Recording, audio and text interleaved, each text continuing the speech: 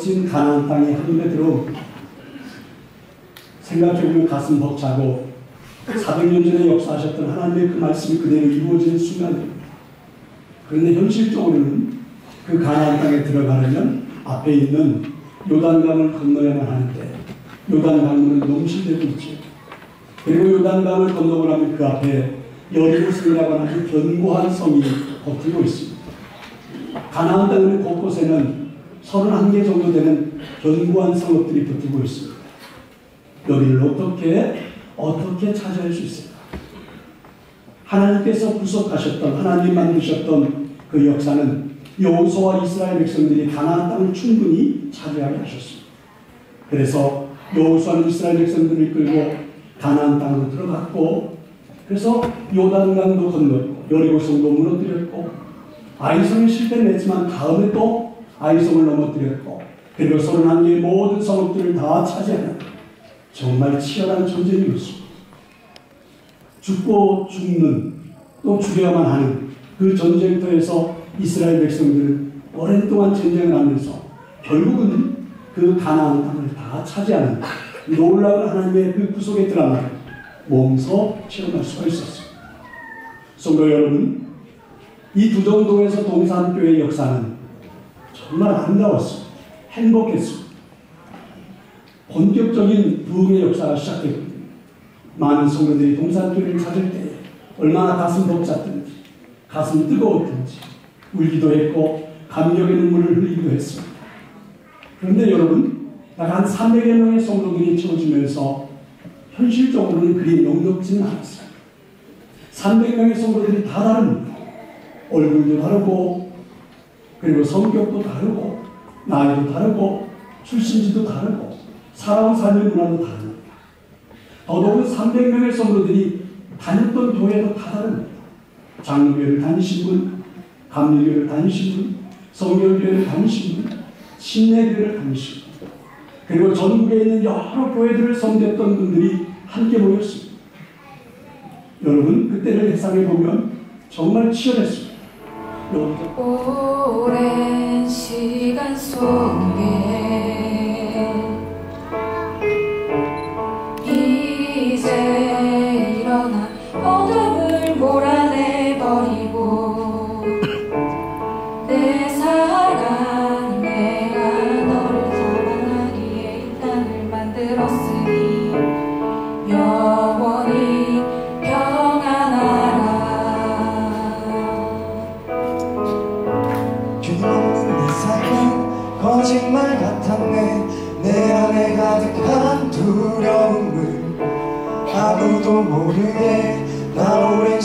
외면해왔네.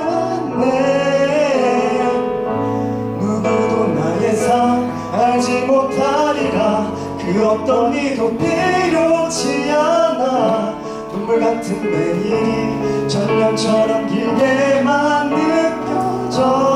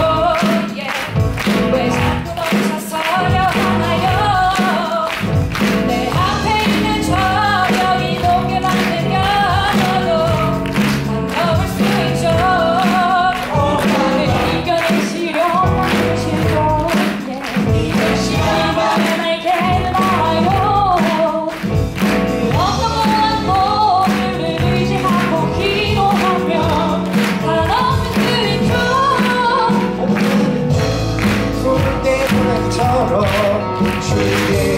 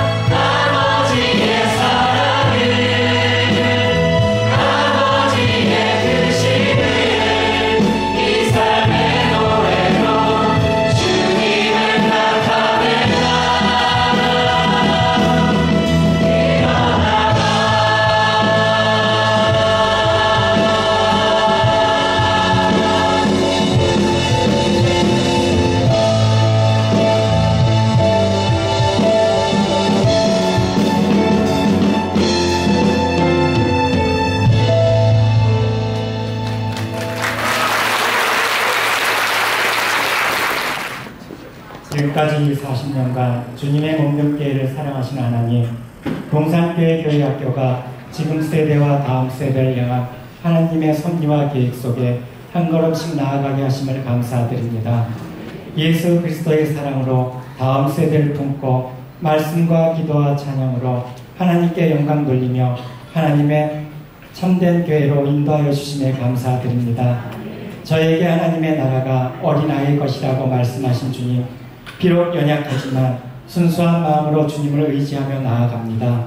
어린 시절부터 예배를 통하여 말씀의 은혜를 경험하게 하시고 진리의 말씀이 교회 학교 어린아이들의 심령 속에 온전히 심겨질 수 있도록 교회 학교를 긍휼히 여겨 주시옵소서.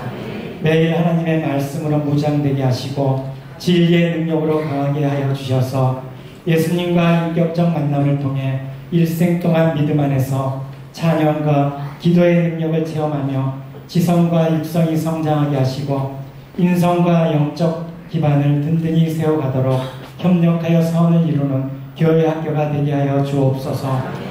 다음 세대와 지금 세대인 유치부에서 청년부에게까지 비전을 세워가는 교회 학교가 되게 하여 주시어 그들로 복음으로 무장시켜 각자에게 주신 사명과 비전을 발견하고 교회 학교 활동을 통하여 교회와 민족과 열방을 위해 쓰임받는 자녀들이 되게 하옵소서 다음 세대를 하나님의 형상으로 회복시켜 주시고 이 땅 가운데 하나님의 나라를 이루어가는 거룩한 자녀들로 쓰임받게 하옵소서.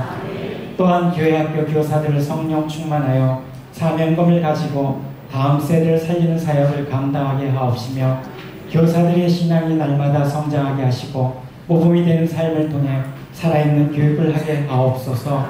모든 가정이 믿음으로 온전히 세워지게 하시고 교사와 부모들이 하나님 앞에서 신앙의 삶을 일치를 이루어 자녀들에게 본이 되게 하옵소서.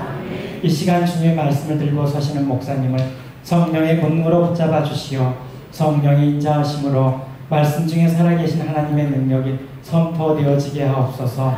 40주년의 미래는 교회의 행복이 나타나는 교회 학교 되게 하옵소서.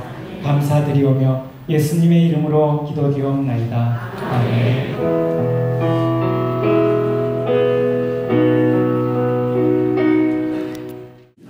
그 기쁨, 그 감격을 가슴에 담고 앞으로 이제 더 큰 행복을 누리며 신앙생활이 될 수 있기를 간절히 소망합니다. 찬양하겠습니다.